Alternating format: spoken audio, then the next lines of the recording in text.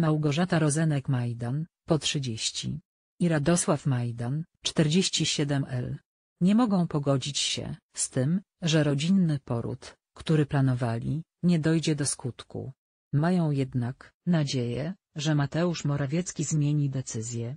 Celebrytka rozwiązanie przewidziane ma na koniec maja. To dla niej wyjątkowy czas. O trzecie dziecko starała się z Radosławem już od wielu lat. Reklama choć ostatnie tygodnie dają jej mocno w kość, Małgorzata nie może doczekać się. Aż weźmie swoje maleństwo w ramiona i usłyszy jego kwilenie.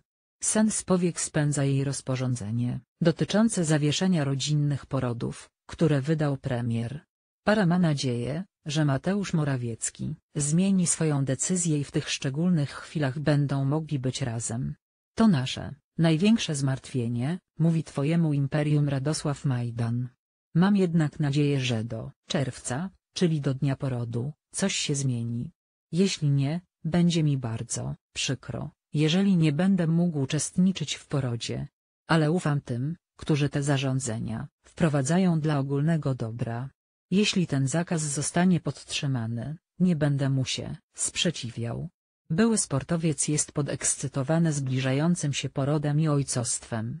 Zapewnia, że będzie wstawał w nocy do synka i wyręczał żonę w wielu czynnościach.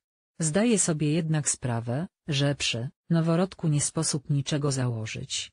Nie mogę się doczekać chwili, w której wezmę syna w ramiona. Przewiduję, że zaleje mnie wielka fala szczęścia, nawet jeśli przyjdzie mi nocami spać trzy godziny.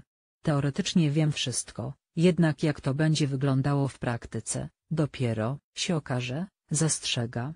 Niedawno rozmawiałem z Rafałem Maserakiem, który jest świeżo upieczonym tatą. Powiedział mi, że ojcostwo jest tak niewiarygodnym i zaskakująco pozytywnym doświadczeniem, że mężczyzna, który tego nie przeżył, nie jest w stanie sobie tego wyobrazić.